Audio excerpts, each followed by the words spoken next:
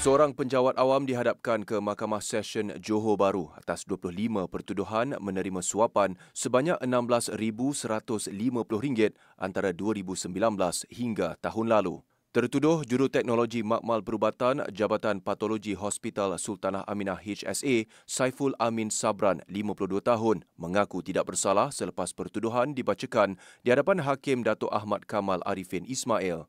Bagi semua pertuduhan itu, lelaki berkenaan sebagai penjawat awam didakwa menerima suapan daripada enam individu tanpa balasan yang mana tertuduh mengetahui ia ada kaitan dengan tugas rasminya.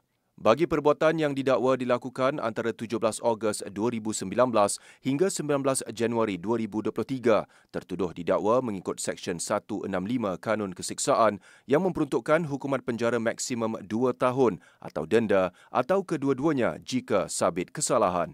Timbalan Pendakwa Raya Suruhanjaya Pencegahan Rasuah Malaysia SPRM Julaila Jamaluddin mencadangkan jumlah jaminan bagi semua pertuduhan sebanyak RM13,000 dengan tiga syarat tambahan iaitu tertuduh atau wakilnya dilarang mengganggu saksi, perlu melaporkan diri di pejabat SPRM Johor Bahru sebulan sekali serta pasport diserahkan kepada mahkamah.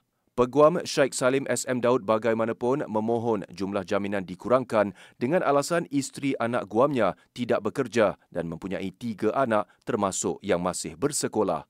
Mahkamah kemudian membenarkan tertuduh diikat jamin RM10,000 bagi semua pertuduhan dengan seorang penjamin beserta tiga syarat tambahan seperti yang dicadangkan pihak pendakwaan. Sebutan semula kes bagi serahan dokumen pada 21 April depan.